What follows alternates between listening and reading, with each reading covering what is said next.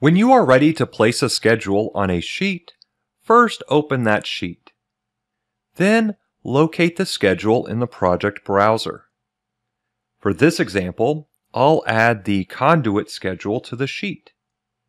To do so, simply click and drag, which means left click and hold and then move your cursor into the drawing area and then release that left mouse button. When you do, you will see the schedule underneath your cursor, and you can simply click to place the schedule on the sheet. Next, zoom in to the top and you can see triangle controls and those controls will they allow you to adjust the column width. What I recommend is start at the left, so that leftmost control, which is to the right of that first column, and get it set correctly. And then just work your way to the right and get your columns adjusted as you wish.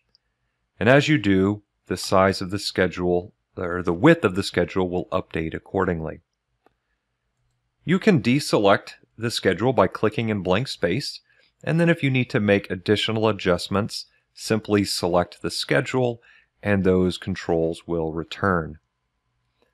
If the schedule is too long and you want to split that the entire table, then look for the control in the center of the schedule on that right side and you can hover over that control and the tooltip will say split schedule table. And simply click that control and then the schedule will be split. And actually you can select the the various portions of the schedule and continue to split it as needed. If you want to combine the various portions of the schedule tables, you can simply drag and drop one on top of the other. But uh, it's kind of a, a little tip here, or the way that it actually works, is you can't simply just drag over any portion of the schedule. So as you can see here, if I just move my cursor over the schedule and try to drag and drop it, it doesn't work. You actually have to use the move control in the upper left corner and then drag and drop it on top. And when you do that, then it'll combine the schedule tables together.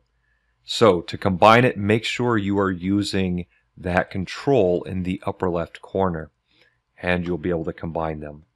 If you simply want to move the schedule, you can always select it and then move your cursor anywhere over that schedule table and then click and drag to move the schedule on the sheet. And then you can simply place it wherever you want and place additional schedules or views as needed. Howdy! Thanks for watching. If you'd like more free content from Click2BIM, please like this video and subscribe to our YouTube channel. We also have affordable subscription options at click2bim.com where you can access all of our videos. We also have an amazing search feature that allows you to search through every single word in all of our videos to help you quickly find the answers to your questions.